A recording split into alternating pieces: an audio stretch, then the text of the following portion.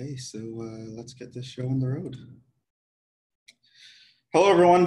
Hope you're well. As Jason has been saying, today we're going to definitely start the last topic. Um, hopefully, we can get to finish it up as well. We are going to finish, start, and hopefully finish partial derivatives. Before that, we had some stuff to clean up from last class, though. Um, we have to talk about continuity. So last time we started talking about limits. Let's jump back into that. Um, boom. There we go. And let's continue. So this was on the 14th. where We were missing Jason's energy and presence that day, but he's back today, so we're all good. Um, so limits, uh, we have some technical definitions here, but we pretty much went for the intuitive feel. Um, we looked at a process to show how when limits do not exist, basically you just want to approach a limit along two different paths and show that you get different answers. Um, we also saw that we can show that limits do exist via things like the squeeze theorem, via things like simplifying and plugging in, via things like plugging in directly, all that good stuff. So we pretty much spent a lot of yet, uh, yesterday's class just learning how to compute limits, when you would do what, which approach. And um, yeah, it was all fun, it was all good. And we got to do a lot of examples, obviously, and we're now, boom, here.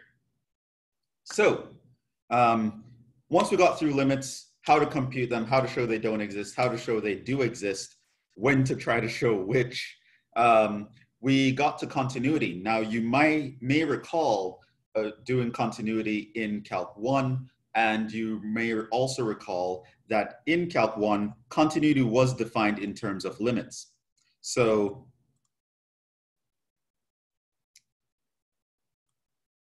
uh, we used the squeeze theorem um, in the last class. So right now we're talking about a, a whole different topic. Okay, so continuity. Again, just ba like back in Calc 1, it has the intuition that you think it has. So to say that a function is continuous at a point means that there's no gap, there's no hole, there's no break, there's no disruption. And we saw in calculus one that that basically means that the value of the function at a point is actually equal to the value of the limit of the function at that point. And in calculus three and in higher dimensions, this exact same definition would still hold true. So if we're looking at a two variable function, for example, and we want to know, is it continuous at the point A comma B? Then all we need to do is check this equation is the limit as we approach AB equal to the value of the function at AB? And if it is, we say that it's continuous at that point, AB. If this works for all points in the domain of the function, we say the function is continuous in general. So that those are no new definitions, pretty much exactly the same definition that you had in Calc 1, except now we have a multivariable limit. We're talking about a multivariable function. And yeah, so now everything that you know about continuity and limits and all that good stuff from Calc 1, those things are still true. Um, so things like knowing how to check for continuity amounts to checking three steps. The function must be defined at the point, the limit must exist at the point, and both must be equal that you would have gone through in Calc 1, as well as a lot of the other things are still going to be true. So uh, the extreme value theorem still holds in higher dimensions. Limits still distribute across sums, differences, products, etc. Uh, you can factor constants outside of, of, limits. Limits can pass through continuous functions. Um, let me write down an example of what that means. So, so for example, if I want to find the limit of, say, x approaches a of sine of some function f of x, I can move the limit inside the sine function and take the limit of the angle. Or if I wanted to find the limit as x approaches a of e to the f of x, then I can move the limit inside of the exponential, etc. Right? So all those things that you know from uh, limits, all those intuitive notions that you have, they're still actually true, uh, as well as that applies to continuous functions. Um, composition of continuous functions are continuous. If you multiply two continuous functions, you get a continuous function. If you subtract or add continuous functions, you get a continuous functions. If you divide two continuous functions, you get the result is continuous as long as you're not dividing by zero. etc., etc., etc. right? Lots of things that you guys are very familiar with that I'm just not going to beat anymore with a dead horse. So we're going to pretty much just jump into some examples here. So we're going to do some examples. And uh, today, and this is why today's lecture might spill in, into tomorrow's lecture a little bit, uh, is because I, I want to actually show you some visualizations as well, because that's always nice.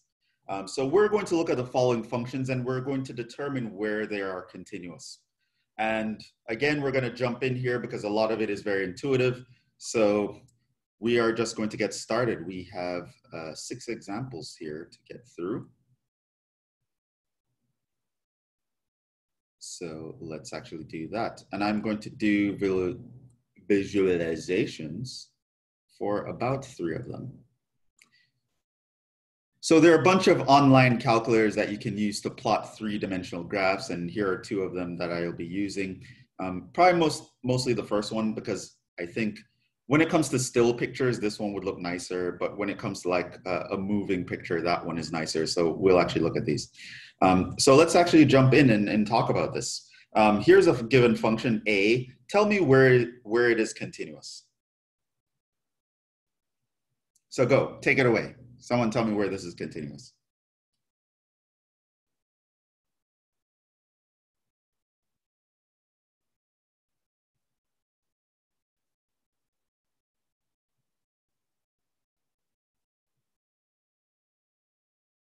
Right, if x not equals y, so it's a fraction. So for continuity,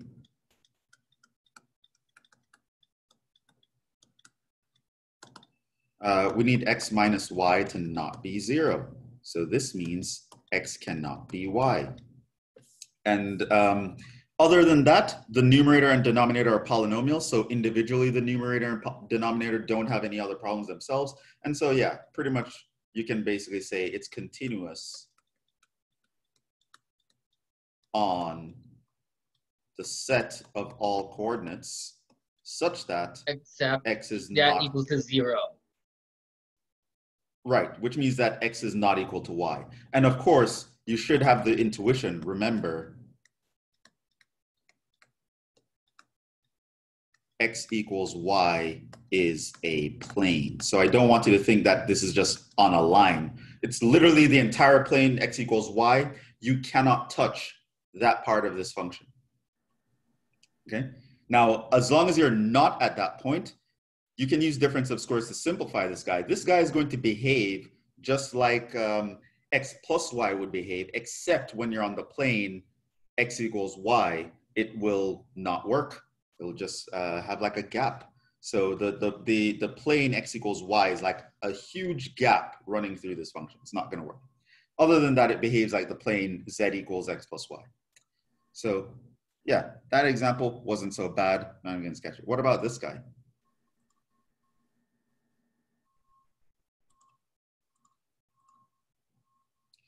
So you might have recalled this guy. This was the guy whose limit actually existed, but we didn't know that in the beginning. And we just kind of started to go through a bunch of paths and we kept getting zero. And then, you know, Abdul Rahman was fooling us the whole time. It actually existed, but he never told us. And then he just started laughing at us at the end of the day. Okay, so that, that's this guy. Where is this guy continuous?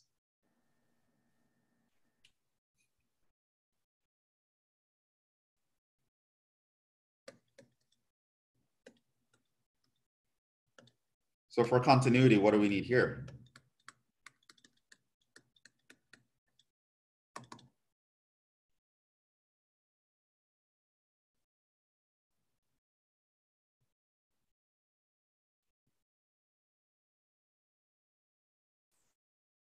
Right, x squared plus y squared cannot equal zero. Um, what does that mean? Uh, can you tell me, is that along a plane? Uh, like where, where would that be the case? you know, think about the xy like coordinate. Like, you know, think about it like in the xy coordinate, the x the x-axis and the y-axis. You can have anything as long as x squared plus y squared does not equal to zero. So basically, it can be infinite, many things, many points, except as long as it does it does not equal to zero, that's all that matters. Okay, tell me where it would equal to zero. Where would it equal to zero? Yeah. Uh, hmm if the x equals to zero or y equals to zero, but however, as long as x squared plus y squared in the denominator does not equal to zero, that's all that matters. Unless it's like, it, that's all that matters. Only if the one of the variables, if x is zero or if y equals five, or if x equals five or y equals zero, therefore it would Yeah, be you need zero. to uh, like simplify. Like, tell me specifically where. Where would it be the case? Where would x squared plus y squared be equal to zero?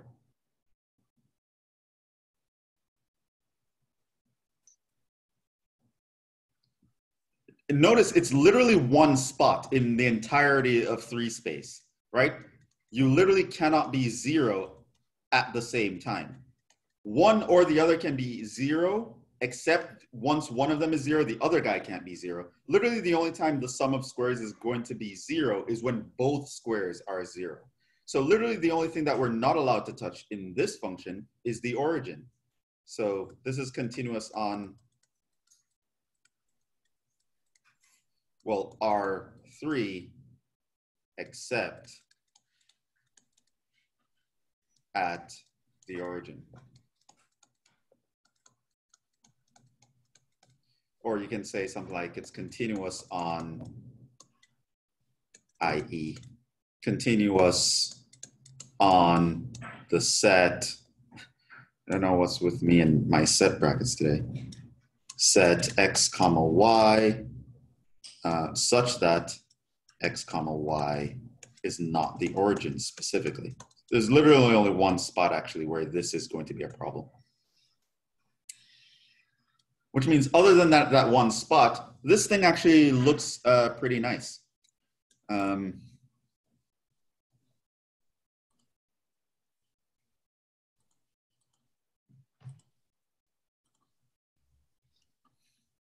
okay, what if I gave you this function? Which notice that it starts out looking like the same function.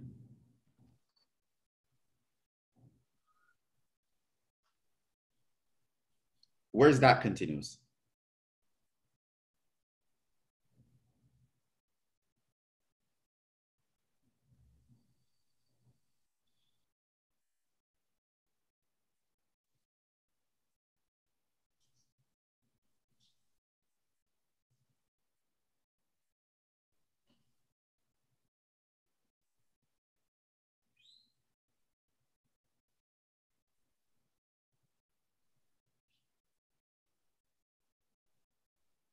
So this one is a little bit more detailed.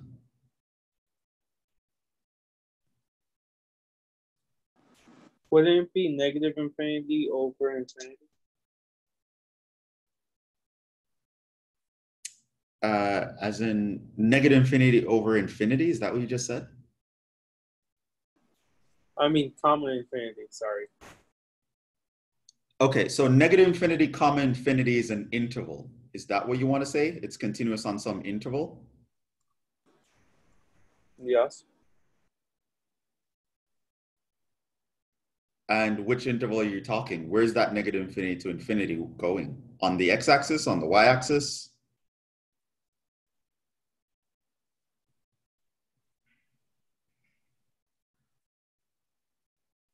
Okay, so this one isn't as clear cut as the others because it's a piecewise function. So for problems like this is where you really need the definition. This is what you need to check. Okay, so to go over this, um, looking at this function, we have to just uh, examine all the pieces. So on one hand, it's this guy. Now we already know that that guy doesn't work at the origin, but we're told that we're not at the origin when we're taking that definition. If you look in the first line, it's that guy if we're not at the origin. So actually this guy is actually fine, right? So at this point, you can notice here, uh, if we're not at zero, zero, we're fine. So now let's check at zero, zero. How would we know whether or not we're continuous at the origin? What would we have to check? Well, we'd have to check the definition. We'd have to check, does the limit as xy approach zero comma zero of our function equals f of 0 comma 0. We need to check if that is the case. Now this we actually found yesterday was 0. Right, so this found last class. Now, if I didn't find it for you, of course, you'd have to actually compute this limit, which as of last class, hopefully you guys are all experts at that. And this guy here is actually equal to zero by definition of the function. If I look here, I, I'm given that if x comma y is zero comma zero, it will be zero. So this here is zero by definition of the function.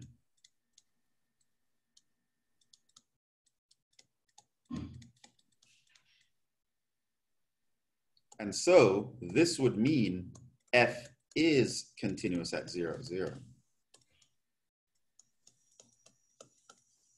Now, since I know if I'm not at zero, zero, everything is okay because I'm not divided by zero. I have a ratio of continuous functions and each of them individually behave and I'm not divided by zero. So everything is fine as long as we're not at the origin.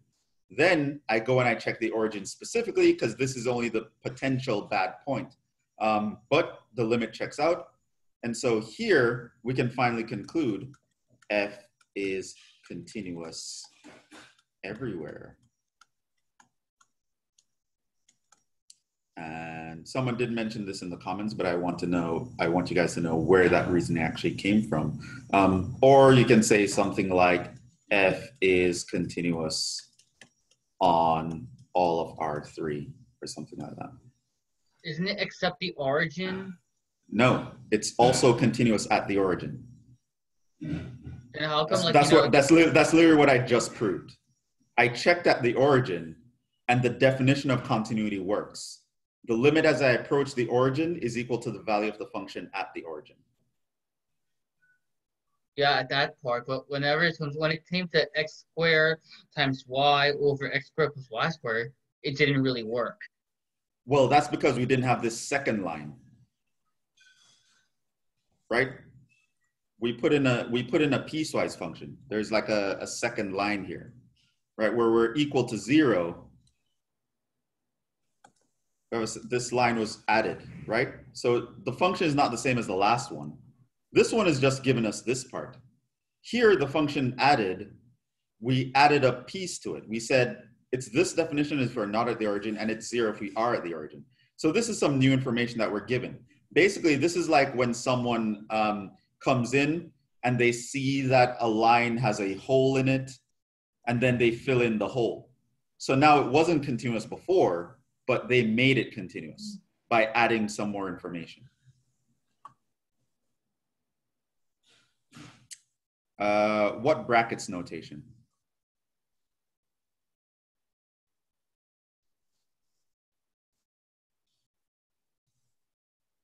Uh, you mean so, something like uh,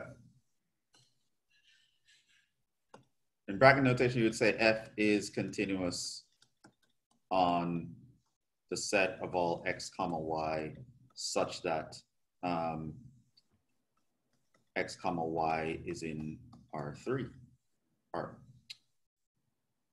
R2. Um, so that's another way to say it. Uh, another way to say it, f is continuous on x comma y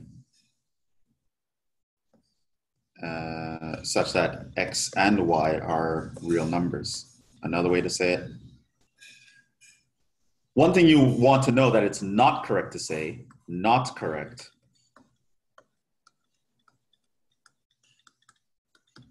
is to say f is continuous for like negative infinity to infinity. That's not correct because that guy is an interval. It's not a two-dimensional space. Now, uh, I want to actually show you guys what this guy actually looks like. Um, and so what we're going to do is we're going to head over um, to my browser. So there is the, uh, the Zoom chat. That's where the magic happens. Okay.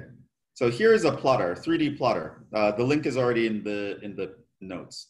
So this guy is our Pringles potato chip. This is the hyperbolic paraboloid. You notice here is the equation, um, x squared minus y squared. Looks like this guy, right? So now uh, let's look at what the guy we were just looking at looks like. So this would be x squared times y divided by x squared plus y squared. So that's the guy that we look like. Now he looks pretty nice. In fact, here, there you can see a little kink. The origin is, is like right here where my arrow is. There's a little kink, um, but you can't really see the problem uh, from this. But essentially, there is an issue in the middle right here, but we filled in the issue. But literally, it's only one point that's missing, so it's not going to show up very well on this graph. But that's what the guy actually looks like which is uh, very nice, as you can see.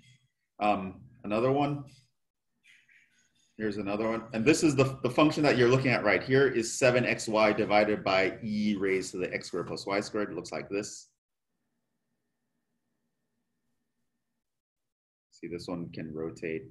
So you can look at all these guys that we were looking at earlier. And if I put back our original function that we're looking at x squared times y divided by x squared plus y squared, there he goes. That's what a guy looks like.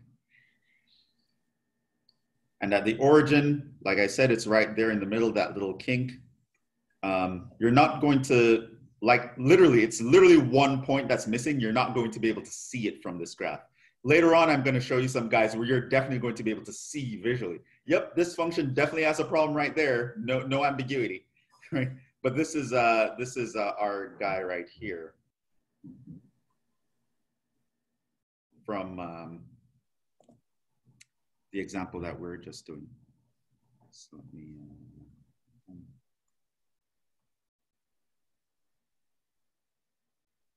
right, so that's what it was looking like. And if you guys want to look at uh, any of the these functions that we're looking at yesterday or, or, or anything, um, you can go to that website and you can see it. So this is what that guy looks like.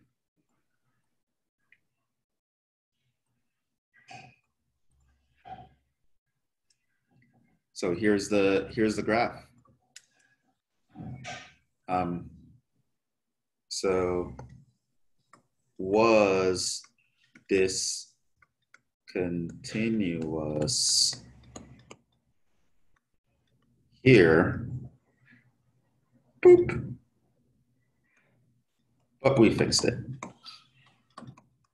So this is an example to use Calc 1 language of a removable discontinuity. Um, but that's that's actually what we're looking at. So it's nice. All right, let's uh, look at another example. Now here,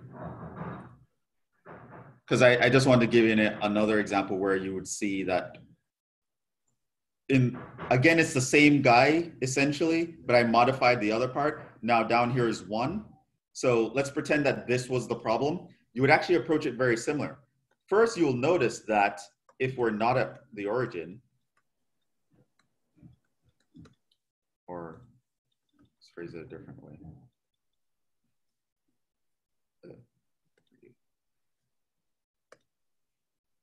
So if our xy is not zero, zero, we're fine. So check zero, zero. Now, what you would do to check zero, zero is you would check, is the limit as x comma y approaches zero comma zero of the function equal to the value of the function at the point, right? Now, we don't know if this is the case, so I put a question mark here. Now, this one, again, we know is zero from the previous class. This is one from the definition.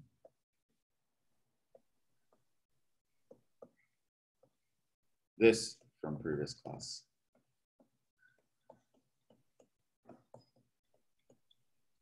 So now you'd realize that they're actually not equal.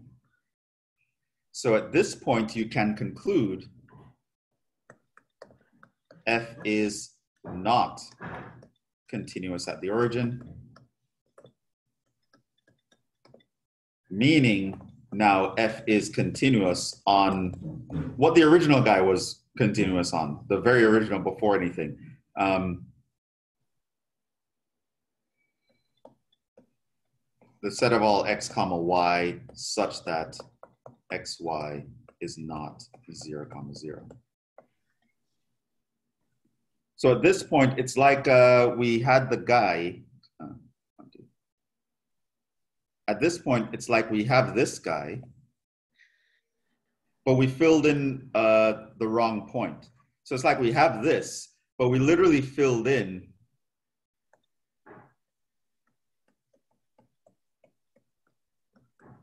some point hovering one unit above where it needs to be. We filled in this point but the problem was down here.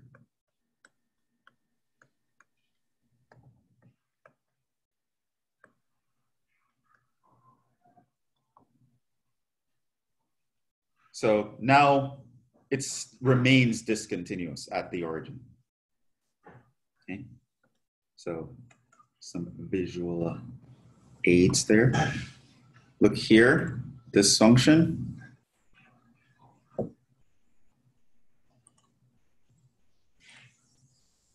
Here's another function. And again, remember composition of continuous functions are continuous functions, divisions of continuous functions are continuous functions. So obviously here, the issue is division by y uh, for continuity.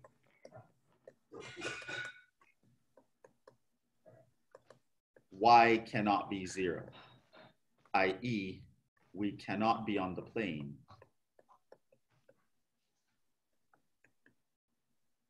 because you, you spent years of your life being ingrained that y equals zero is a line. So I, every opportunity I get, I have to remind you that y equals zero is actually a plane.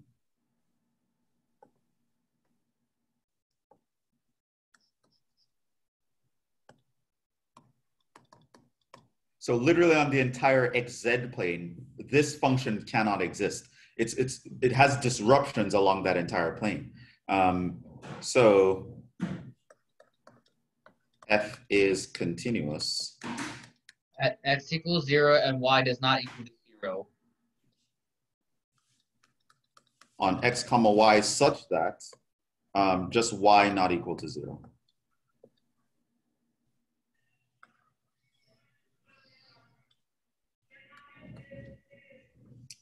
Now, um, if we go back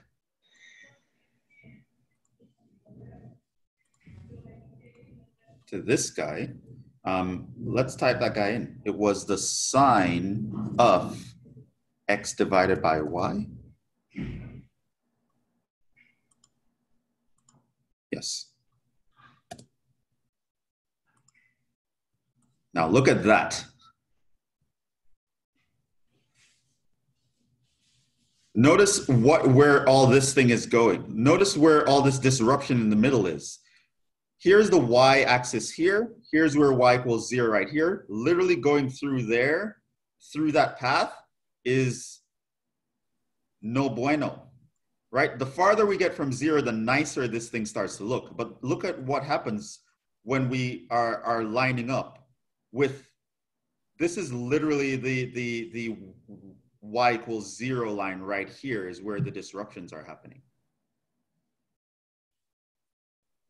So that's our picture. You see that the function starts getting crazy once you start getting close to division by zero. And then it's a sine function, so it starts oscillating like crazy, but then it can't actually settle at a value.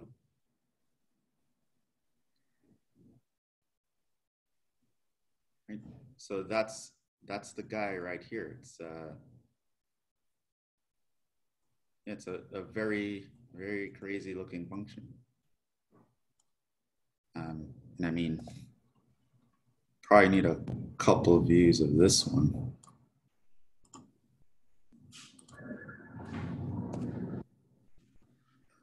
I'm pasting it into OneNote right now.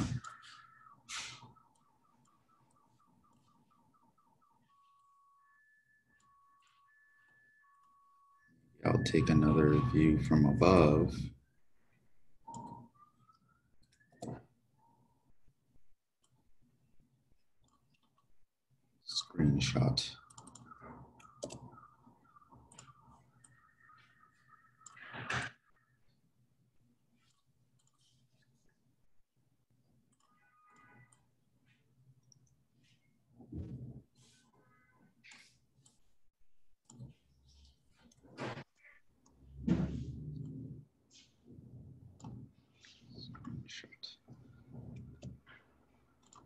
Chicken. Okay, now turn.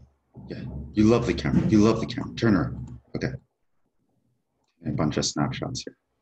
Um, and if you want to see the, the guy in, a, in another thing, like sine of x divided by y here, um, there is the guy. And now you can see it's uh, like, you can just set it to rotate at a certain speed and you can just see like all along the x xz plane like it's just it's craziness it's chaos.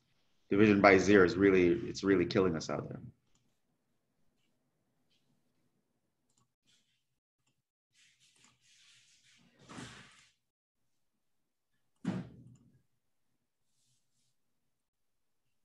Yeah so that one's really trippy and functions can get really trippy. So here you'll notice that this line here is this is like the plane where y equals zero going through there, right? So the plane y equals zero is passing through here. The plane y equals zero is passing through here. And yeah, craziness happens. Like, it's not a joke that that one's not continuous. In fact, that's not removable. Clearly you can see, you can't fix that guy by fixing a single point. Um, you'd literally have to re rethink the entire function to change that. Here's another example.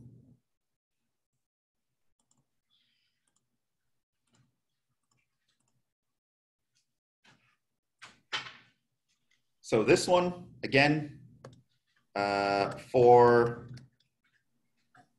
notice, of course, if we're not at the origin, we're fine.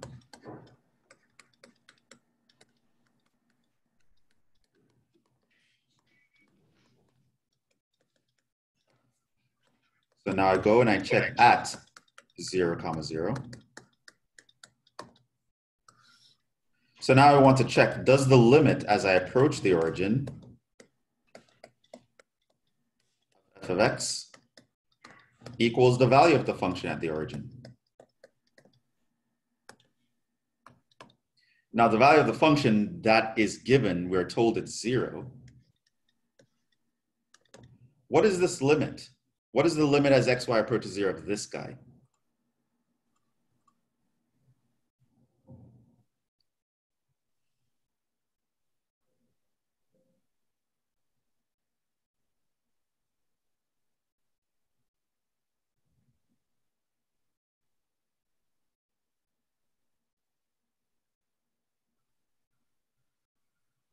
Are you sure it's zero?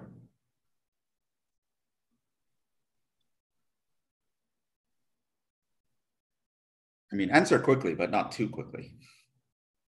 Oh, so now you're just guessing one? Or is that what we're doing? We're throwing out random numbers now? How did you get one? How did you get zero? Minus pi. I vote for minus pi. E to the pi, maybe. Remember your training, grasshoppers. Examine that limit.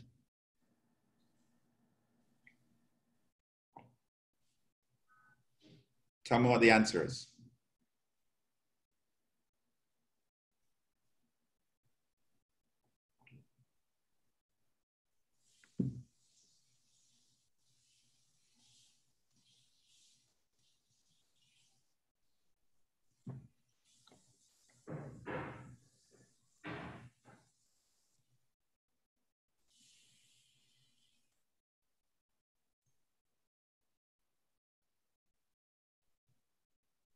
Anyone?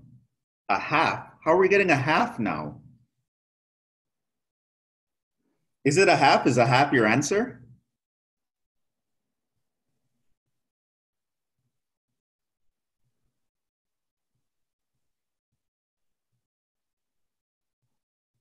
None of the above.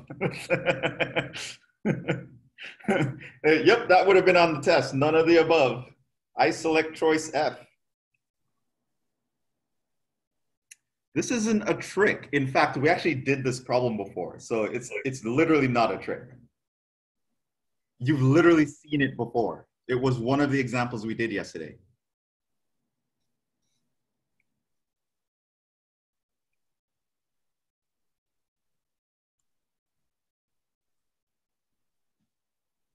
Well, don't look at what we did yesterday. You're you're supposed to be looking at that right now, take it at its face value, and then uh, evaluate it.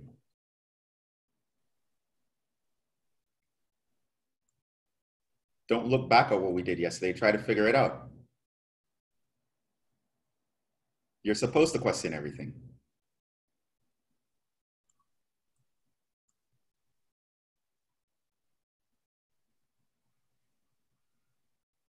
Of course, don't go overboard with it.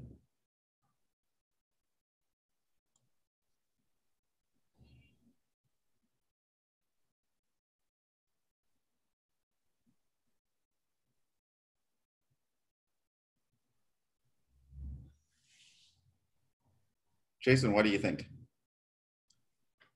Hmm. Well, what I would say is that as long as we're not in the origin, we're fine. That's, if that's what you think. If X no, I mean this. The question is, what is the limit as x y approaches zero zero of this thing? Zero zero. I mean, like you know, it would just be infinity, like you know, infinity over infinity. That will be an indeterminate form. That's what I'll I can. Well, it would go to zero over zero, but no, that's not how you examine limits. Zero over zero is indeterminate. You can't say anything from zero over zero. Yeah, like I said, it's indeterminate. That's what I said just now. I mean, like, however, it wouldn't be, it wouldn't work if for the origin zero zero for this part, the first half. Why? Because it's like indeterminate form, like you know. Indeterminate doesn't mean the limit doesn't exist. Right? We did examples yesterday where we saw an indeterminate form and the limit did exist. Indeterminate means you can't tell what it is at face value. You have to do something. Uh... Okay, so remember you're training grasshoppers. You see a limit that you don't know how to deal with. What do you do? Step one, try to show it does not exist, which means you should immediately start thinking, what happens if I approach this from different paths? What paths? One path is going to be the obvious path. Let's approach along x equals zero. I get the answer zero.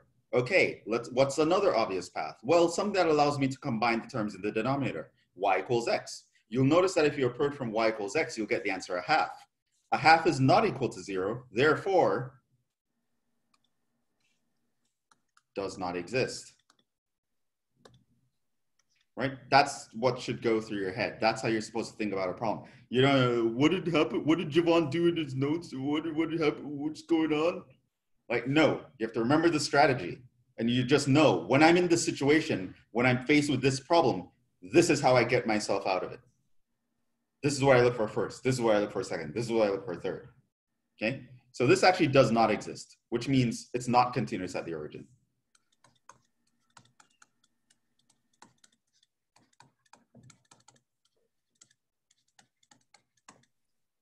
Which means f is continuous well, ever except the origin.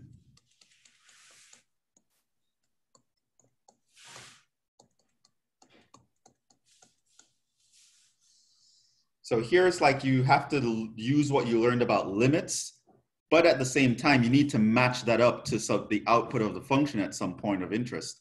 And then you have to see, does the limit and the point of interest agree? If they agree, then it's continuous at that point. If they don't agree, it's not continuous at that point. But ultimately, you need to know how to find limits. We, we covered that uh, a lot yesterday.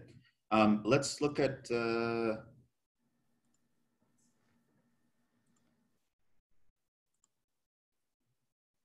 what does um, this guy look like?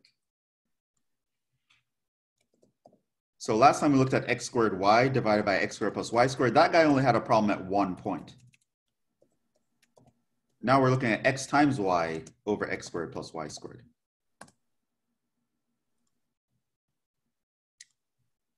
Uh, did I type something wrong?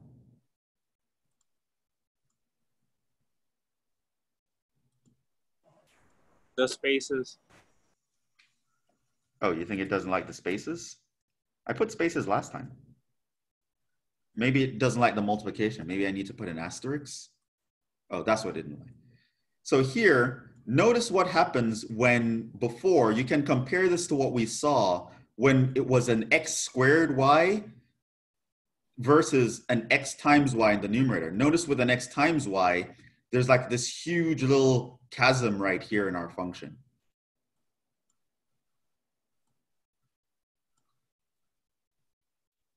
Right, that wasn't there before. So here, x times y less than over x squared plus y squared. So that's what our guy looks like. It's not as bad as the one we had just before, but compared to your x squared y, yeah, look at that guy. That, that's what's going on at the origin. Now you guys can just watch. Uh, let me take some pictures of this.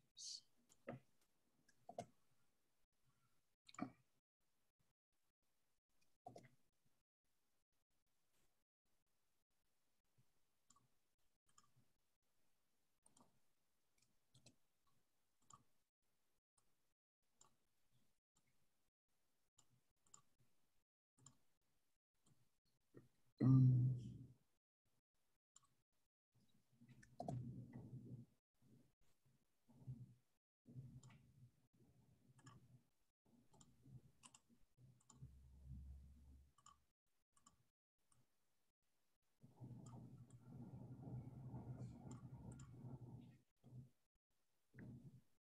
Now we're just looking at this guy from different views.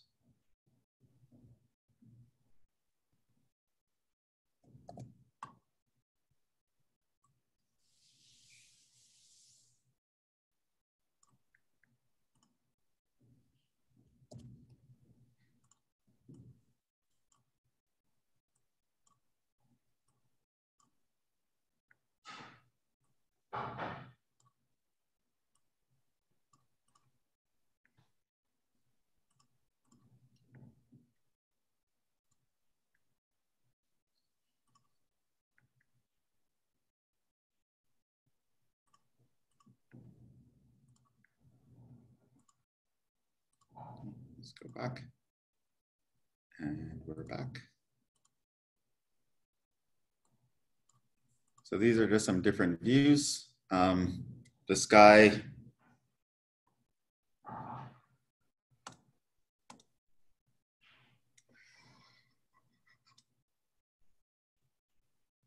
was that guy.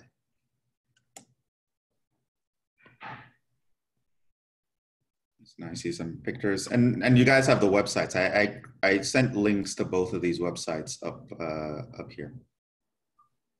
Where I'm taking the snapshots from is the first link, but the one that you can like just have things rotating, um, it's the second link.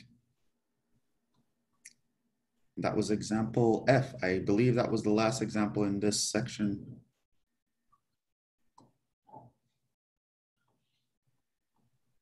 All right. Um, okay. And that's pretty much all I wanted to cover over there. So you should know how to find where a function is continuous. Here, um, I kind of put these, this little blurb here for the sake of completeness. Uh, technically, I don't think you'll ever need to actually know this stuff. But just to mention, what we were doing here can work in higher dimensions as well it just gets a lot harder the moment you start bumping up for dimensions. Um, so for higher than three dimensions, once you're in 4D or higher, it becomes much more efficient to use vectors to describe everything. So you'd, you describe a point, a variable point as just a coordinate of variables. You'll describe a constant point that you're approaching as a coordinate of constants. And you can actually use vectors to talk about this stuff. And the squeeze theorem would apply in, in the cases of vectors as well. Of course, you have to be when you take the absolute value in this case, of course, that means you're taking the absolute value of a vector. And so you have to use the, um, the formulas for the magnitude of a vector and etc. But when you get high enough dimensions, it becomes much more important to think of things in terms of vectors. So that's basically what I'm just saying. A precise definition for what it means to be continuous in Rn, nth dimensional Euclidean space is essentially this. Now the definition looks almost exactly the same as it did back in Calc 1. However, you want to be aware that the x here is a vector with n components and your a is also a vector with n components. Um, so yeah. All right, so hopefully that was interesting. Uh, so now you can actually see, uh, put a face to the name. Um, and this was the guy that actually existed that gave us trouble yesterday, but uh, now, uh, now we see him. We're not scared. We know what he looks like. We have tons of ways of looking at him now and defeating this problem. So, all right, we're good. Moving on to partial derivatives, finally. Okay, so now, there is such a thing as a derivative in general in higher dimensions. However, this is going to require you know a lot about matrix uh, linear algebra.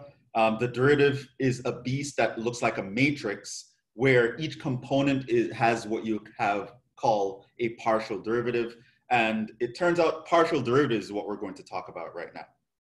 Okay?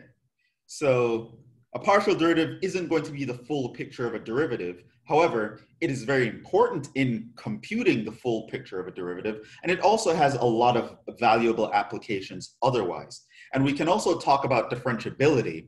When would you be able to differentiate a multivariable function in terms of partial derivatives? The partial derivatives is all around very nice, very useful, but just so you know, it's a partial derivative. It's not the derivative in the full generality, in the full picture, in all its glory. And unfortunately, most of you, unless you're not a, unless you're a math major, you'll never actually see the derivative in its full glory. As a math major, you're gonna encounter that guy in, I wanna say advanced calculus two is the first place where you're going to actually know what a derivative is. In the same way that you thought for years y equals x um, was a line, but you realize that there is something bigger than that. That's just a shadow of what it is. In the same way, you will eventually learn that the derivative, as you learned in Calc 1, um, limit as h approaches 0 of f of x plus h minus f of x over h, is really a shadow of what the derivative really is. The beast that is the derivative in its full generality is something much, much more grandiose than that.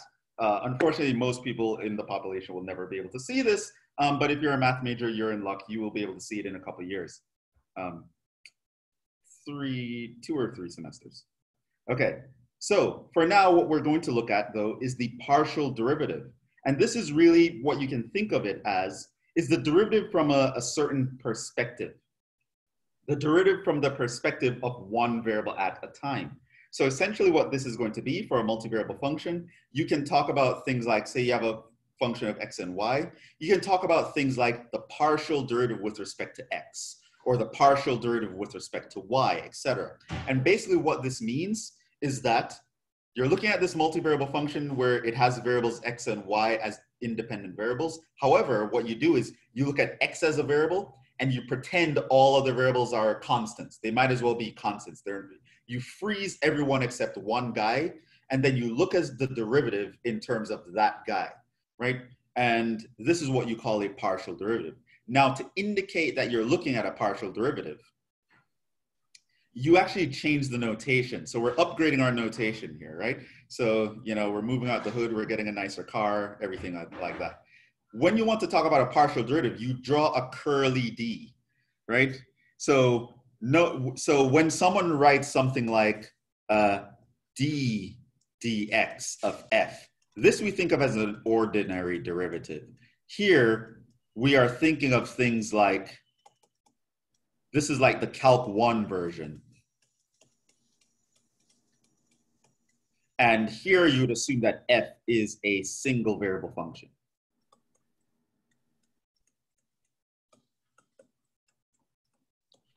However, you can get bigger. You can go something like this and you draw like a curly D like that. This is what's called a partial derivative, meaning um, it's a derivative with respect to the x variable, but with the awareness there are other variables out there. Um, so the partial derivative with respect to x, but f is a multivariable function. So there are other variables out there.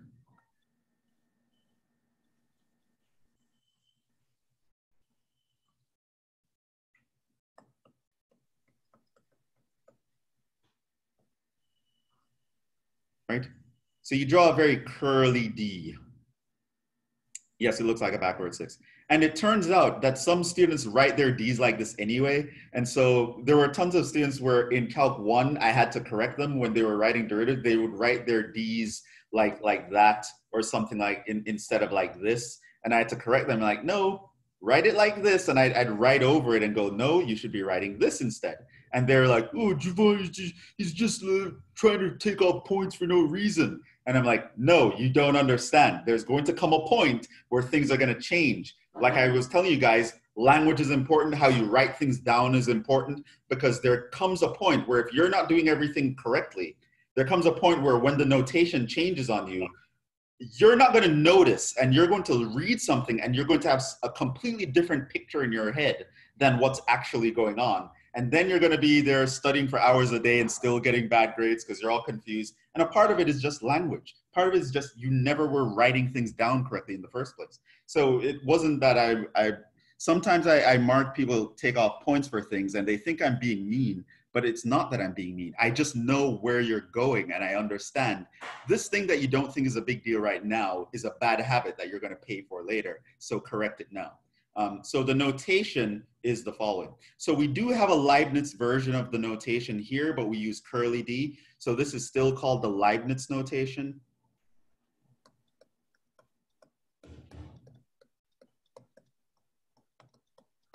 And there's another notation that we have, this guy, where we do a subscript. This is called the subscript notation.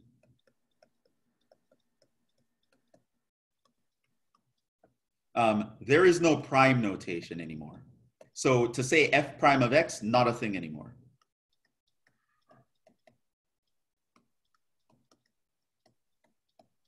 Right? Because if someone says f prime of x comma y is too vague, right? The prime indicates you're taking a derivative, but it's too vague. The prime notation indicates you're taking a derivative, uh, but you're not sure with respect to who. Is x the variable? Ugh, with respect to who?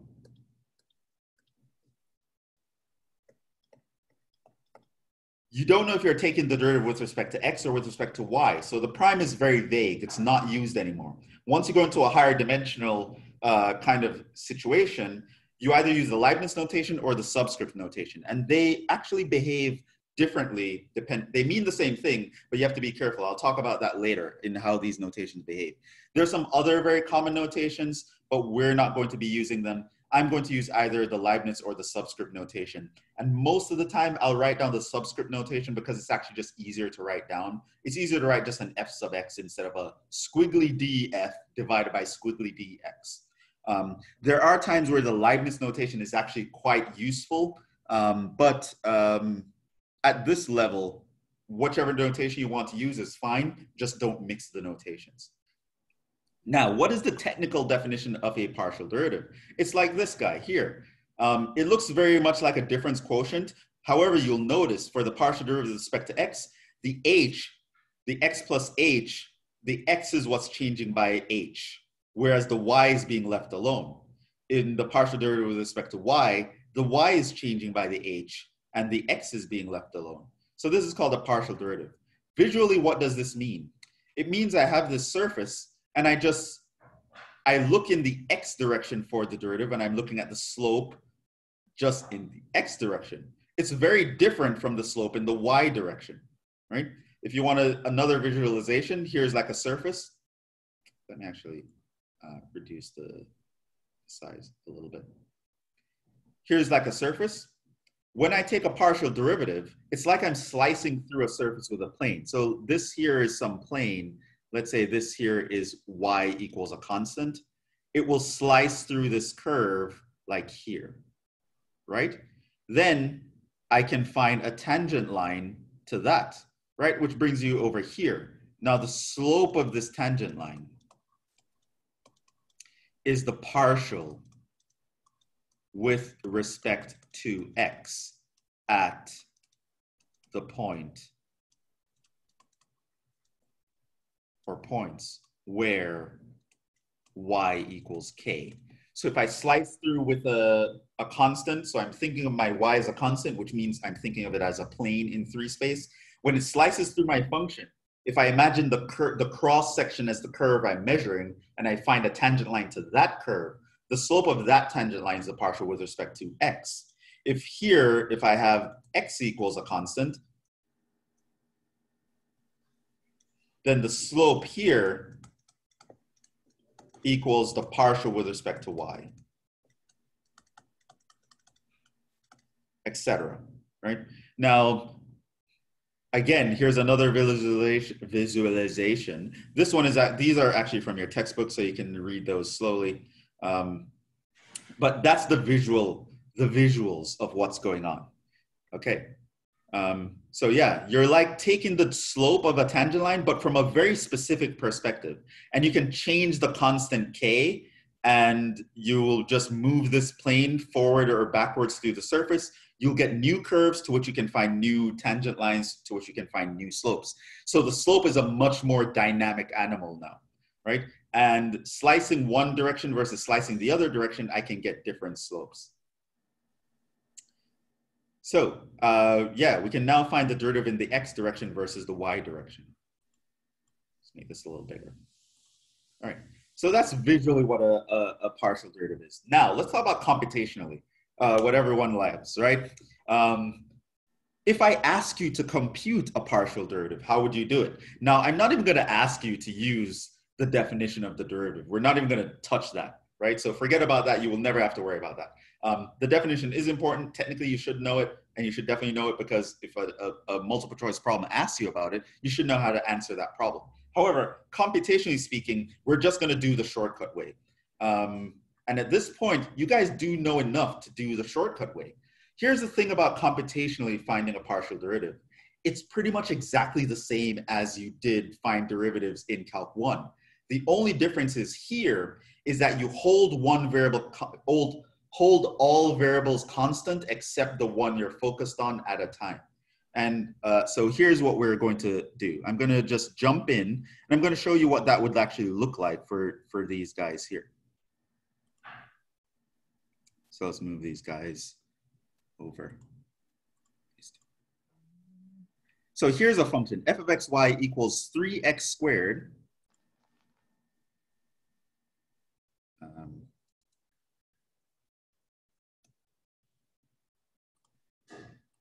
bigger.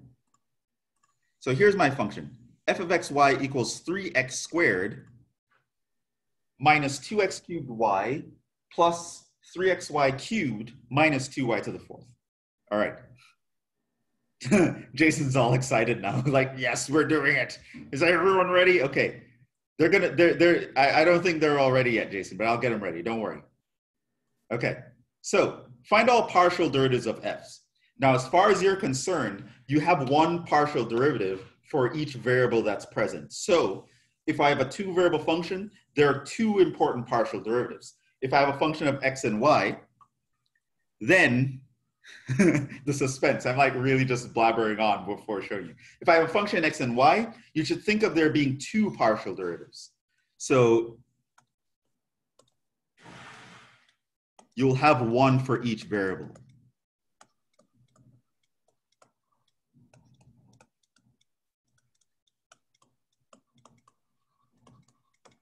So f here has two. There is the partial with respect to x and the partial with respect to y. Now let's uh, let's get this spread, right? What would it mean to take the partial with respect to x? Here is what it means. It means pretend all variables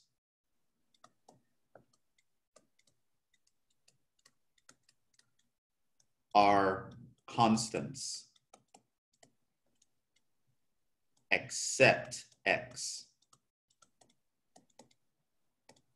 Then you are going to actually take the derivative with respect to x. So you're going to go to this function, 3x squared, blah, blah, blah, and you're going to literally take the derivative by pretending your y variable is a number. It's, it might as well be 5 or 2 or something else. So how would I take the derivative? Well, the derivative of 3x squared would be 6x minus the derivative. What is the derivative of 2x cubed y? Well, it would be 6x squared Where? y. Right? Then that's because I'm just keeping my y as a constant, so I leave it alone. When I have a constant times a, a function, 3y the derivative is going to just be the derivative of the function times the constant. So here I just took the derivative of the x squared and I left everyone else alone. In fact, let me actually just write it out another way. What I do is I leave the 2y alone because it's constant and I'm going to differentiate the x cubed. So I would get 3x squared. And I continue in this fashion. So when I get to the 3xy cubed, I would leave the 3y cubed, and I'm going to differentiate the x, which is just 1. When I get to the minus 2y to the fourth, this is just 0. Notice that this guy is constant because my minus 2y to the fourth is a constant with respect to x. So the derivative of 2y4, so derivative with respect to x of minus 2y to the fourth is 0. And so now, of course, when you'll get quicker with this in your head after you do it a few times, I can clean up. This is 6x minus 6x squared y plus 3y cubed. That is going to be my partial with respect to x. Are we getting it? Uh, I just have one quick question. Yes. So in so for this example, let's say so basically whenever we're doing partial derivatives, if we have uh, a variable that's a constant and it's by itself, meaning that it's not also being meaning that the variable that's also being derived isn't I guess attached to it, it would just automatically be zero. Yes, because the derivative of a constant is zero, Okay. Okay, got it. right? It, it's literally like it's literally like the y could be a five for all we care.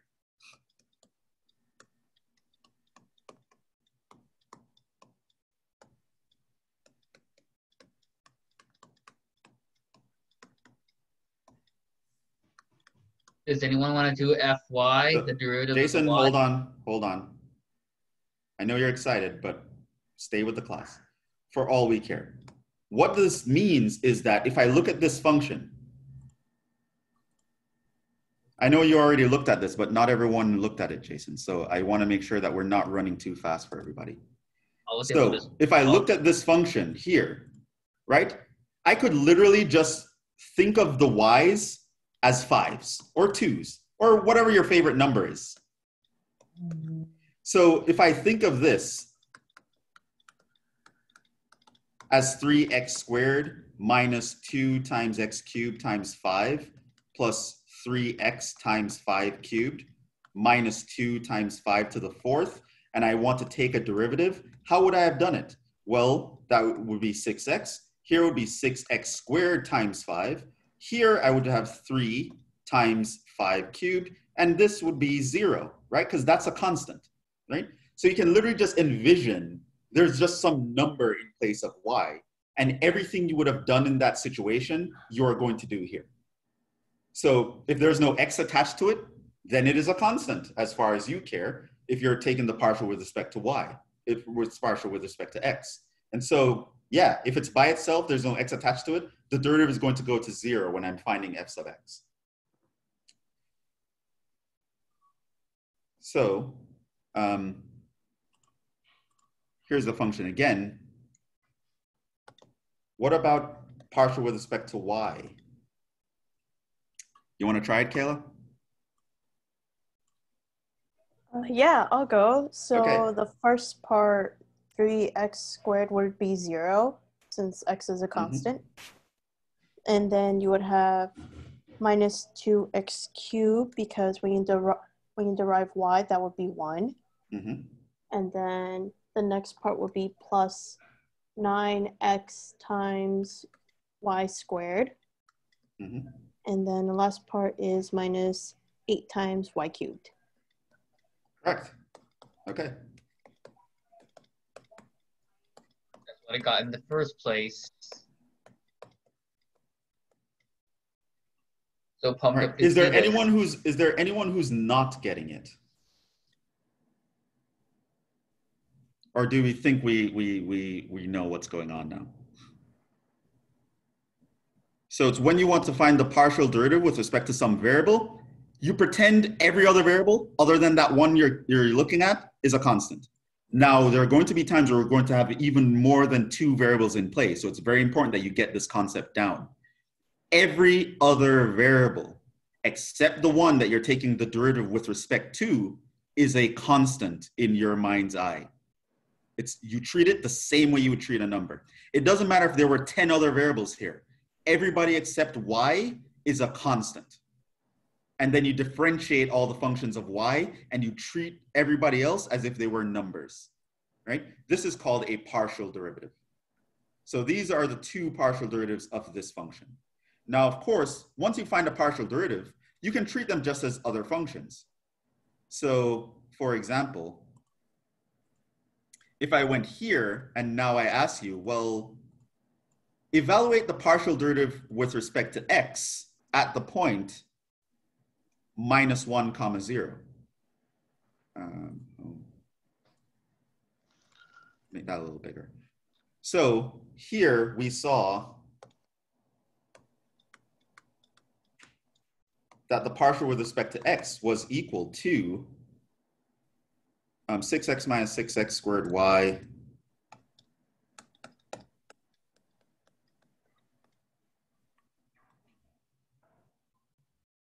plus 3y cubed.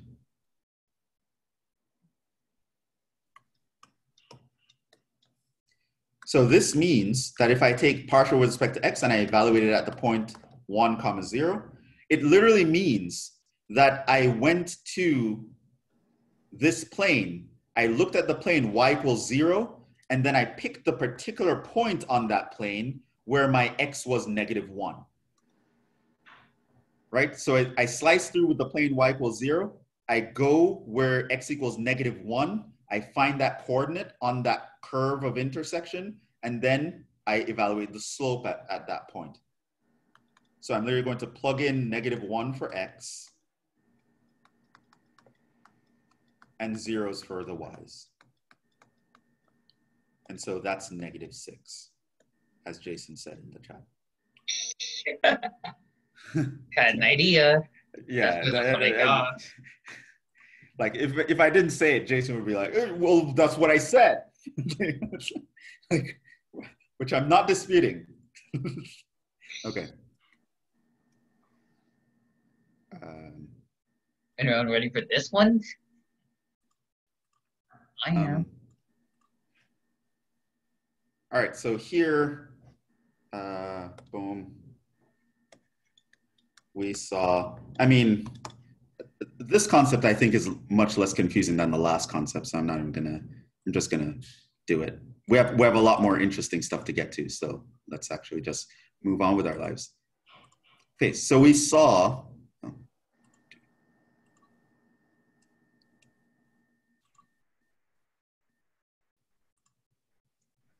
we saw partial with respect to y was equal to this guy.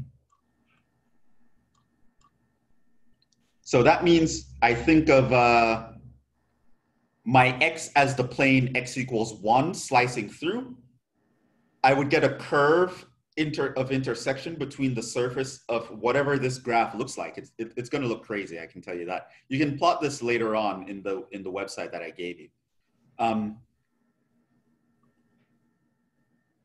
it, you can plot this in the, the website that I gave you to see what it looks like. But then slice through that guy with a plane x equals one, then find the coordinate where y equals one, measure the tangent line there. What is the slope? That's what this question is asking.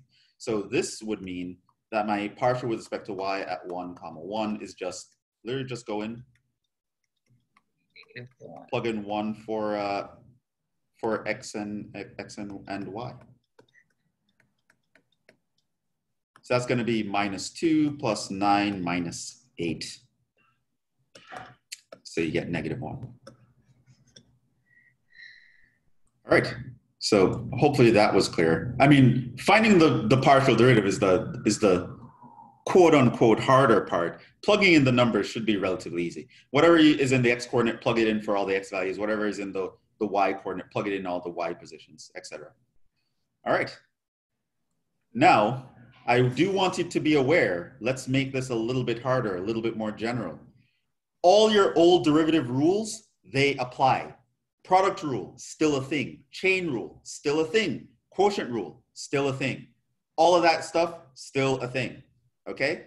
So let's say I have this function right here. Let's just actually jump into this and start uh, finding partial derivatives. Let me make this a little bigger so you guys can see.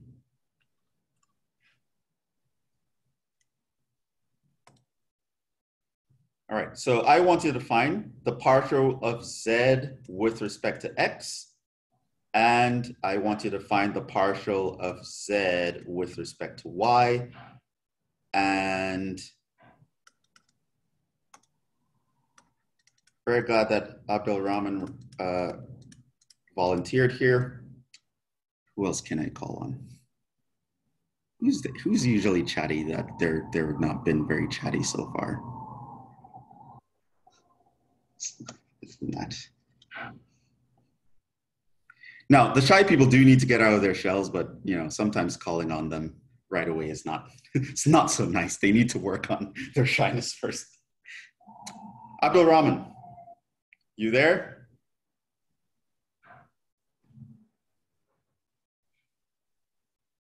All right, tell me what's the partial of this guy with respect to x? Here's the function. y times e to the xy plus sine of x divided by y. Natalie, start working on the partial with respect to y of that guy.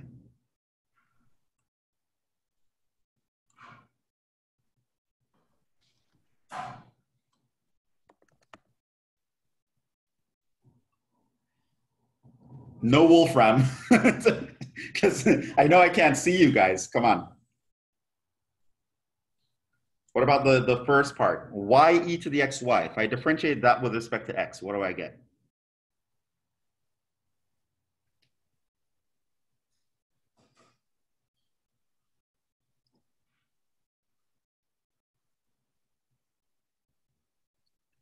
And by the way, the rest of you should be doing this, even though I even though I didn't call on anyone specific. Everybody should be writing down what they think is the answer. Right? It's very important more important than you realize. Like if you just watch it, even if you watch me do stuff or you watch someone else do stuff and it makes perfect sense, it does not mean that you would be able to reproduce that thing on a test. You will never know what you're able to do unless you actually do it. Okay. All right. And then what would you get?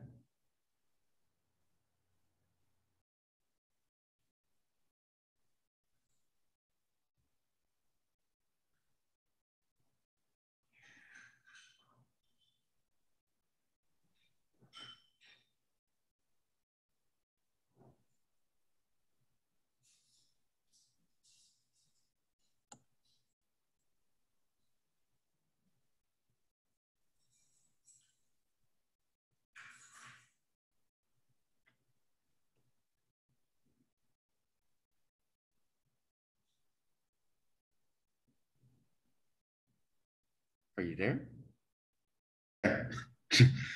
oh, uh, uh, geez, sorry about that. I, I was literally here waiting, and I'm like, "What is taking Abdul Rahman so long?" And I'm thinking he's stuck, and it's just my internet went out. like, You made me Wow. host again. I didn't make anyone host. It randomly picked someone. I don't know why. It And it always picks me. well, I, I don't. I, I can't explain it. It knows you're the G. I had a reason, probably. Anyway, uh, let's jump back into it. so, um, when is uh, what is uh, partial with respect to x? Abdul Rahman. Okay, so the y in the front we would ignore since it's a constant. Yeah. And so we would get the derivative of e x to the y, but we'd make a, I mean, y equal k. Okay. So, what would the derivative look like? be y times e to the xy. Right. So remember, our general rule would be the derivative of if we're and now I'm thinking of single variable calculus. So you see how I write the d. The derivative of e to the u is what? u prime e to the u. So I just want to take the derivative of the power times the original function. Now the derivative of the power with respect to x is just y. So I would have another y. So in other words, here I have a y times y e to the xy. Right. Then um, the sine function. So um, the derivative of sine would be cosine, Mhm. and um, we would leave the inside as it is, and then we would um, multiply it to the derivative of the inside. Which is? y is a constant, we would leave it on the denominator, and Yeah. derivative of x is one, so it'd be times one over y. Right. So chain rule here. So you use the chain rule for both of these. So y squared e to the xy plus 1 over y cosine of x over y. Right. And notice that uh, what we're using here is a chain rule. Same thing here as well. Actually, also product rule. Uh, we didn't need the product rule here. Uh, we're, we need it for the partial with respect to y though. Natalie, did you finish that? Uh, yeah. Uh, so for the first part, uh, looking at it, looking at it with respect to y, I Mhm. did the product rule, so I got Mhm. e to the x y plus uh, x to the e, sorry, x times e to the x y times y. And then for the second part, uh, it was a chain rule. So I got uh, plus cosine x over y in the inside times negative x y. I mean, no, times negative x over y squared. Right. So here our z was y e to the xy plus the sine of x over y. And again, you can think of the, the inside here as x y to the minus 1. So the derivative of that is going to be minus x y to the minus 2, which is what that, that guy is.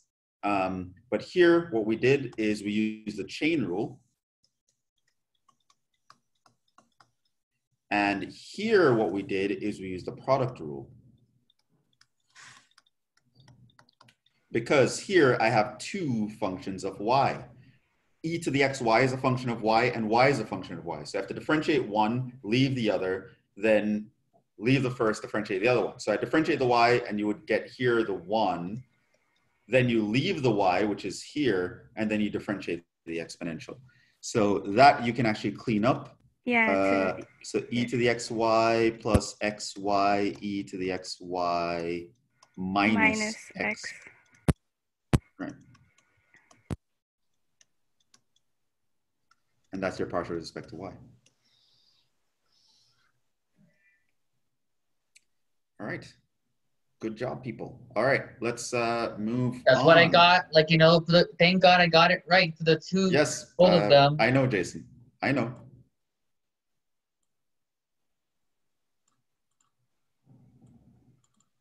All right, here's another one.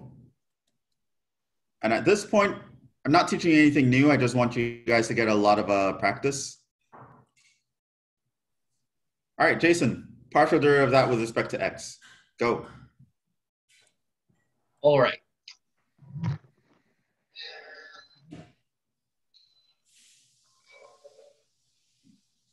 Let me take some time to solve it. Then I'll. Yeah, I, I, I couldn't even tell Natalie had social anxiety, so I don't know. Based on what she's saying in the chat. Did fine. Okay.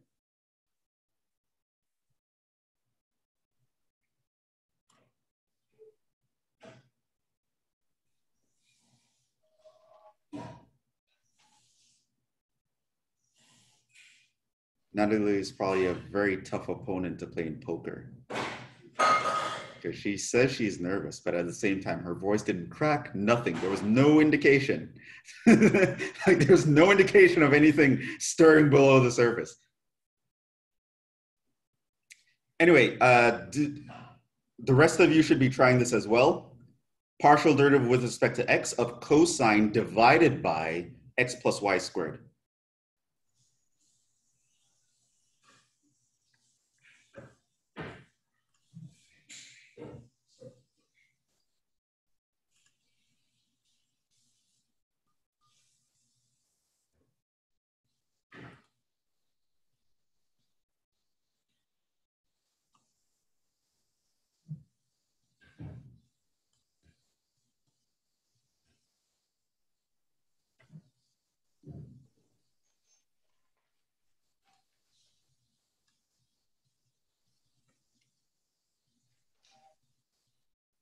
All right, Jason, I'll give you According to what I'm seconds. assuming, I would say like you know, Yeah.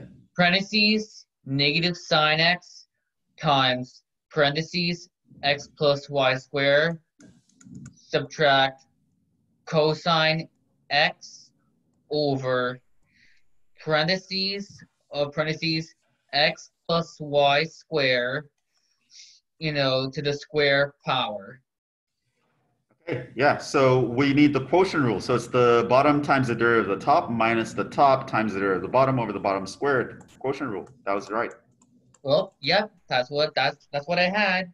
I had an idea. This And would he be and the he answer. and he's like, well, yeah, yeah, of course. I mean, what you expect? You didn't expect me to get it right? okay, so yep, that is quotient rule.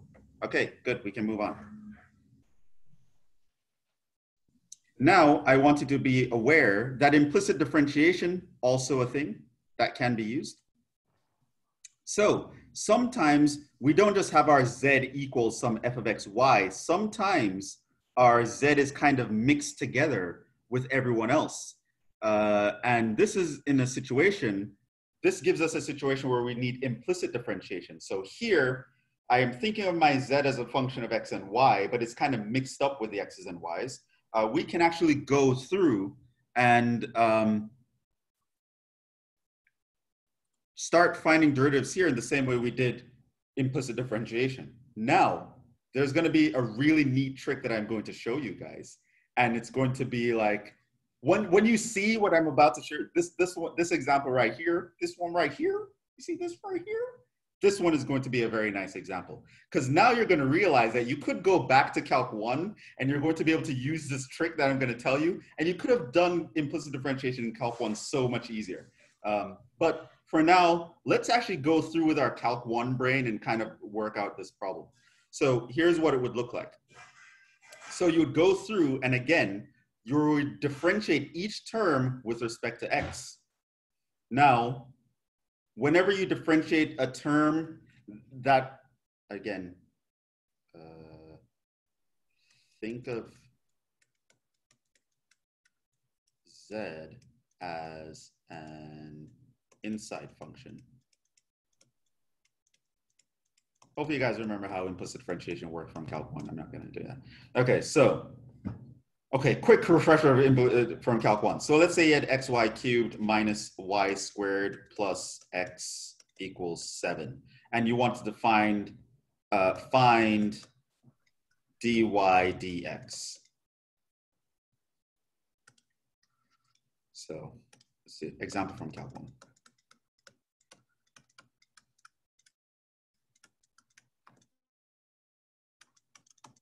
What did we do? Well, you went through and you differentiated each term. However, you just had the awareness that whenever you were differentiating a y term, you had to multiply it by the derivative. So for example, uh, you would have go through here. I'm getting a message saying my internet is unstable. Are you guys still hearing me? Someone just give me a check. Okay. All right. All right, so here uh, you go through and you differentiate. Um, you would here you would think of x and y as both functions of x. So now you have to actually do the product rule. So you differentiate the x, you would leave the y cubed, then you would leave the x and you would differentiate the y cubed. But because the y was a function of x, you have to multiply by y prime. So here you apply chain rule because y is an inside function. It's some function of x, you, but you just don't know what. Right? So this means that when you see y cubed, it's really like there's some f of x cubed. And so when, and so this means that the derivative with respect to x of y cubed is going to be the derivative with respect to x of some function cubed, which is going to be chain rule, differentiate the outer function, multiply by the derivative of the inner function. And so that would give you the 3y squared times y prime. And that's where the y prime came from. So now you do that for the rest of them. So you go through, differentiate the x, leave the y, plus you leave the x, differentiate the y, multiply by y prime, plus derivative of x is 1, derivative of the 7 is 0. Then what you're going to do is at that point, you solve for the y prime.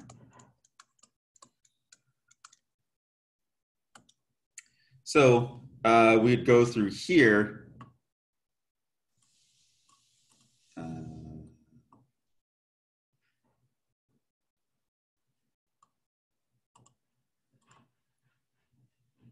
Just copying it down here so I can see.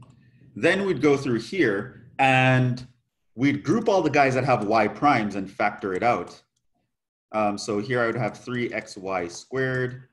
That takes care of this guy. Then I would have minus 2x squared y.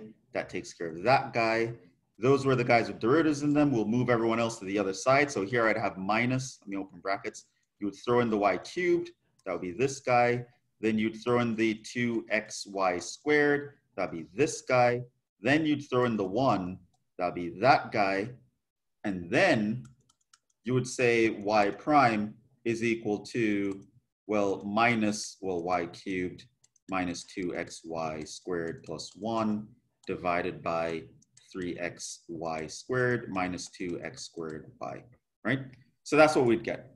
So quick crash course in implicit differentiation from Calc 1. Uh, you guys should have been experts at Calc 1, so I'm not going to go any further into that. Um, we're going to come back to this, and I'm going to give you the red pill. But right now, let's actually continue. So I want to do that similar process here.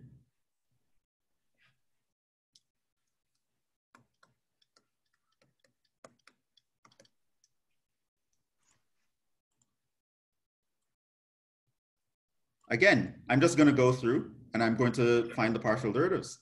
So here I start by the first term, x squared y. I need to differentiate that with respect to x. Well, that's 2xy because my y is a constant. Plus now I move to this part here, the 2xz. I think of my z as an inside function though, because that is the dependent variable, which means there are potentially x's that are mixed inside the z. I just can't see them, which means I think of these two guys as being functions of x and I need to do the product rule. So I would differentiate the x, leave the z, plus leave the x, differentiate the z, but now that is partial of z with respect to x. I don't use Z prime because prime is too vague in the multivariable case. I'm using the Leibniz notation. Um, so now, so for this, I would need the product rule. Because Z is a function of X specifically and Y. All right, so now I continue like this. Take the derivative of 3z squared. Well, that's going to be 6z times the partial of z with respect to x.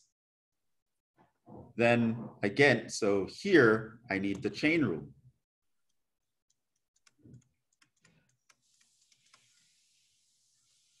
And so that's this term here. Product rule was this term here. Now, if I move on to the last term, x, y, z, I would need another product rule. I would then go differentiate the x, leave the y and the z, plus leave the x and the y, differentiate the z, partial of z with respect to x. Derivative of 5 is 0. So again, here, I need another product rule.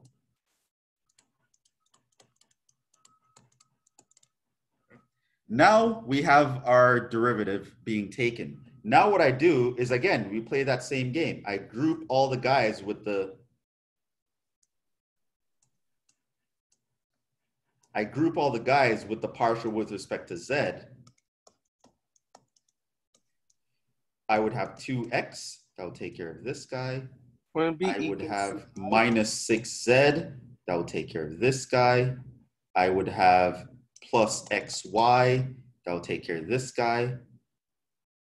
That's all of them. Then I would move everyone else to the other side. So the 2xy takes care of this guy. The 2z takes care of this guy. The plus yz takes care of this guy.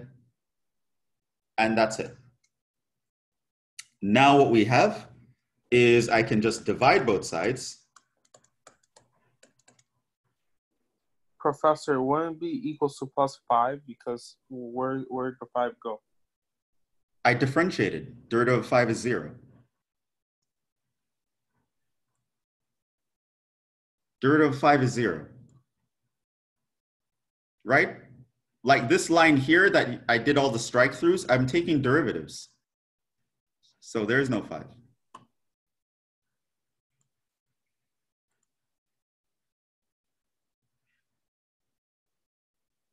Okay, double checking. Can you guys hear me? I I'm just suspicious that I, I'm losing connection again. We can hear you. Okay, all right, good.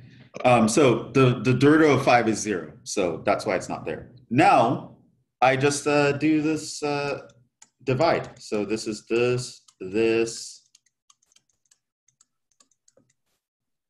over 2x minus 6z plus xy.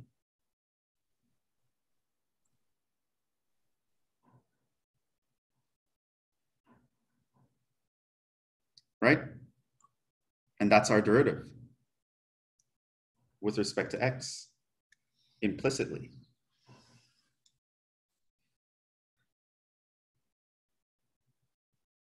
Okay, now, you guys ready for this? Are you ready though? Are you guys ready?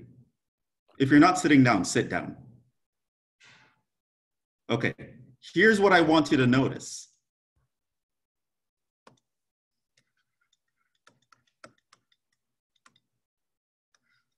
You guys ready? Look at the numerator of the answer I just got.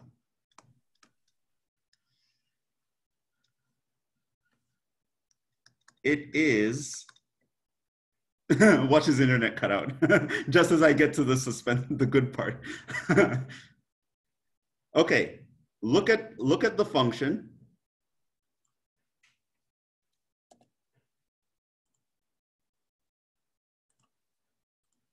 Okay, look at the numerator, just the numerator alone and the original function. And tell me what you notice. How does the numerator compare to the original equation that I gave you?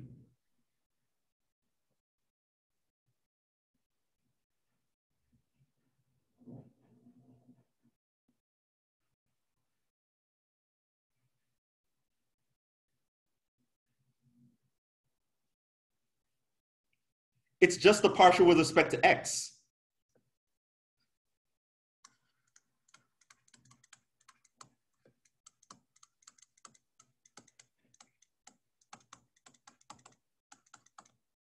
What about the denominator? How does the denominator compare?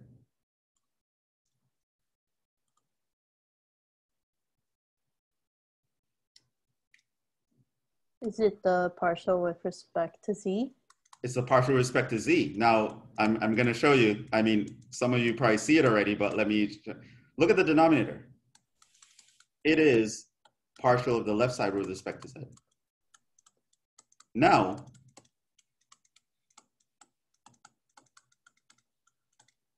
so here's a way we can actually express that answer. So going back to this guy, if I bring everything to the right side or the left side,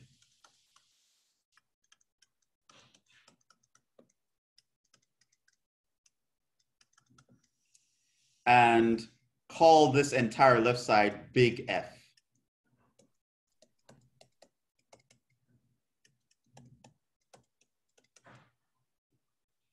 Then here's what I want you to notice. The partial with respect to, z, to x, partial of z with respect to x is equal to negative the partial of big F with respect to x divided by the partial of big F with respect to z. In other words, if I were to take, if I were to take the partial of everybody with respect to x and divide by the partial with respect to z, that's actually the answer that I would have gotten if I did implicit differentiation. Like I could now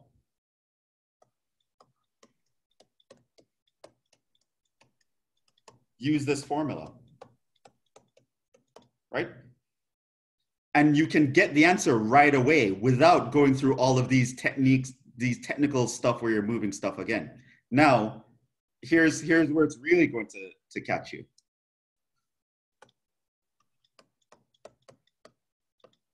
Look at the Calc 1 example again.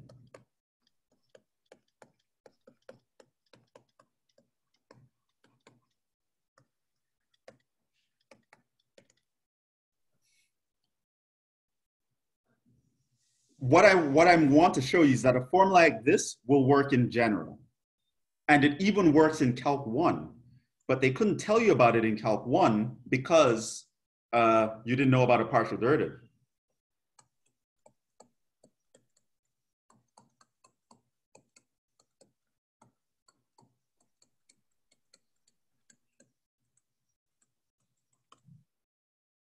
Let me show you. Go back to the Calc 1 example. Implicit differentiation probably uh, caused you a lot of headaches back in Calc 1. Let me show you how trivial it is and could have been.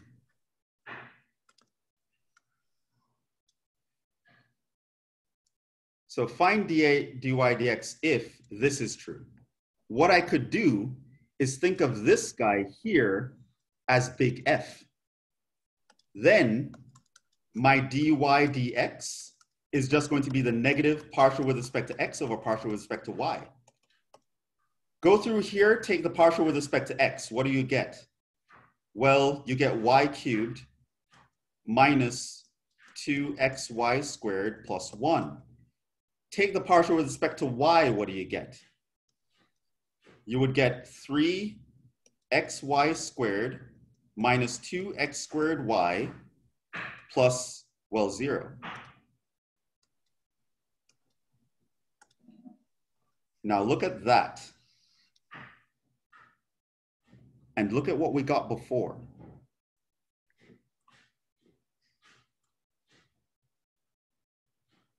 It's the same guy like implicit differentiation didn't have to be this game where you're applying the chain rule and you're you're collecting terms and you're moving things to the other side. You could literally use partial derivatives and a simple formula, this ratio, and find an implicit derivative with this. Now this, so if we wanted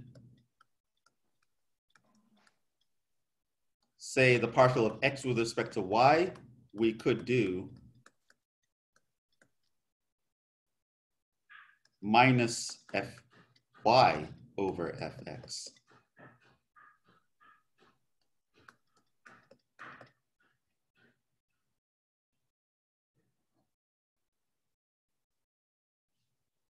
Are you guys still there? I want to make sure I didn't like lose internet.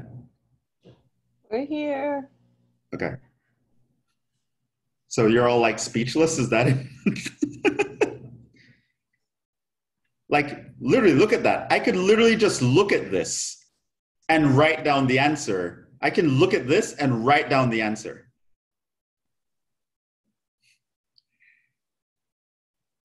Let, let, let's try it again. By the way, uh, this comes from a generalization of the chain rule that you'll see in the next class.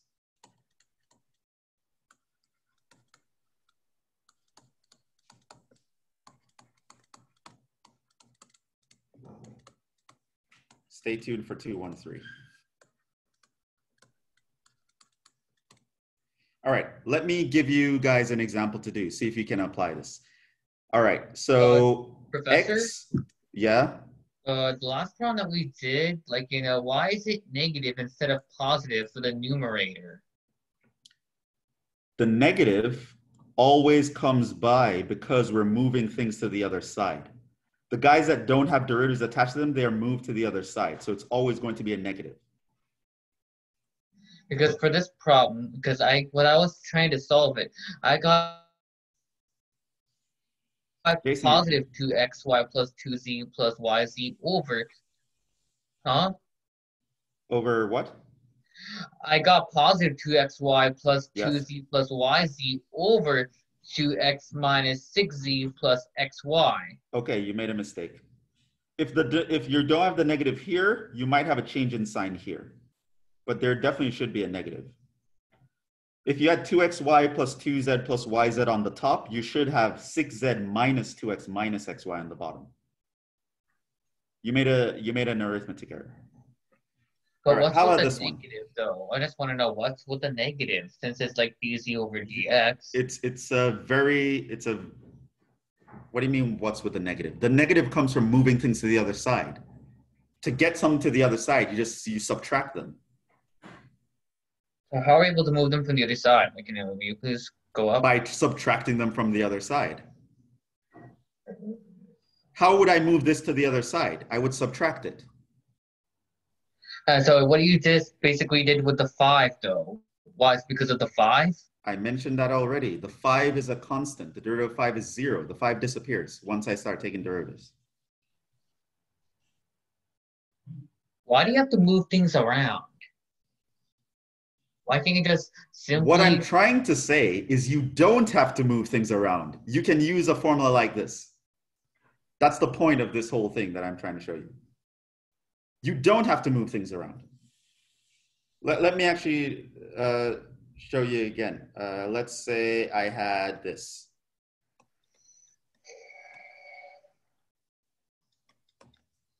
What if I actually defined the partial of y with respect to z? So here you're thinking of y as the uh, inside function. Your x and z are independent variables. You could simply go, oh, this is going to be minus big F with respect to z over the partial of big F with respect to y. The answer is going to be, go through, take the partial with respect to z. You get 3xyz squared. Then you would have plus 1 over z. Then you go through and take the partial with respect to y you would have xz cubed minus 2x. That's your answer. If I, if I had asked you, find the partial with respect to z of y, what I would have done is minus partial y over partial z. Then that would just be, well, xz cubed minus 2x over 3xyz squared plus 1 over z, etc. Like implicit differentiation is really a one-liner. It's something that you don't even need to show work for, really. You should be able to do it in your head. Like that's what I wanted to actually show you guys. Like with the power of partial derivatives, we can look at something like implicit differentiation, which in Calc 1 is a whole process. But actually, Nah, you can do it with a like a simple formula that you can like just write it down in your head. Anyway, we have some more stuff to talk about with partial derivatives. It's pretty much more of the same kind of practice though. Um, and as well as I have to talk about notation, but this is going to spill into tomorrow because we're already like over time. Okay. So that's it for today. I, I didn't realize it was getting uh, was getting pretty late there. Uh, so I'll wrap that up. I'll leave the rest of the notes in the PDF so you guys can read through it and maybe try some stuff on your own for the uh, tomorrow's class, which will finish up partial derivatives for sure. Um, but yeah, you can re-envision a lot of things in terms of partial derivatives, and you'll see that a lot of processes in Calc 1 that were like a whole bunch of steps you had to go through aren't really a whole bunch of steps anymore. Um, so go through, you can read the thing about notation, and we will pick up with those things tomorrow. Uh, and hopefully that was fun for you guys. We will stop there. Just a reminder, our test is on Saturday. It will cover everything up to partial derivatives, including what I'm going to look at tomorrow. And we will stop there. Good night, everyone. Stay safe. Have a good dinner. Have a good night. And I will see you guys in the next one. Ciao.